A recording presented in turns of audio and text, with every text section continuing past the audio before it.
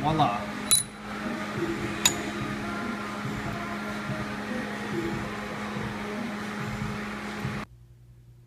Hey guys, want to do a video to show you how I uh, came up with uh, my own kind of way to take off sights and um, put on sights without having to spend anywhere from 30, 40, 50 to over 100 or 200 dollars for what they call a sight pusher.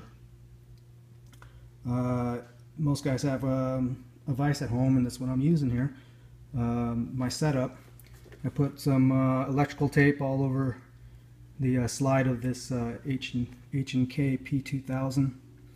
Uh, I'm going to change the sights out and put on the uh, Trijicon HD night sights. Um, so I put the tape on there to protect the slide. Put some wood on top of here and clamped it down with this C clamp. Um, put this piece of wood here to give the sight clearance once it gets pushed to have somewhere to go. And uh, I used a brass punch and I tried to choose this punch that's about as big as I can that'll go through this groove uh, to give it the biggest amount of surface area to push with. So uh, you know that's my uh, my setup. Um, let's just crank this a little bit and see what happens.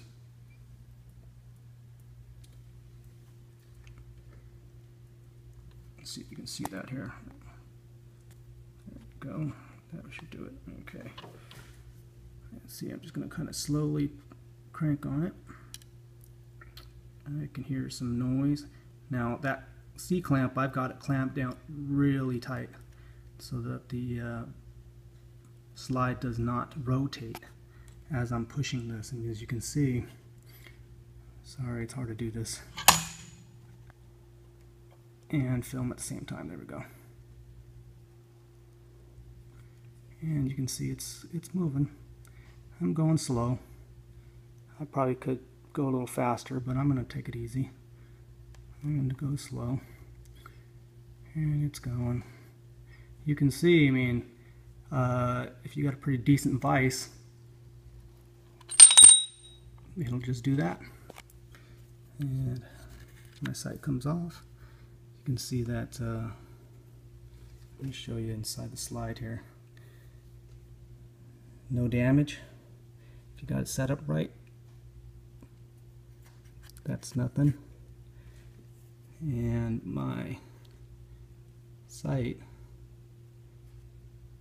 no damage this is a little bit of the brass that you can just actually rub off with your finger and that's why I use a brass punch so I hope that hope that uh, helped you guys uh, that you don't have to spend a ridiculous amount of money for what they ask for on these uh, sight pushers. Um, take it easy.